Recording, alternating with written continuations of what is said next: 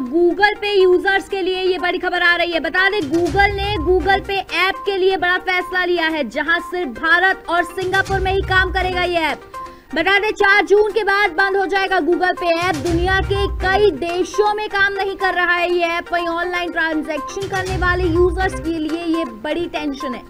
वही बता दें, आपको सभी यूज़र्स को गूगल वॉलेट पर ट्रांसफ़र कर दिया जाएगा। अमेरिका में पूरी तरह यूजलेस हो चुका है ये ऐप ये बड़ी खबर हम आपको बता रहे हैं, जहाँ गूगल पे ऐप के लिए बड़ा फैसला लिया गया है। बता दें, सिर्फ़ यूज़र्स अमेरिका में पूरी तरह से यूजलेस हो जाएगा ये गूगल पे ऐप क्योंकि 4 जून के बाद इसका इस्तेमाल नहीं किया जा सकेगा।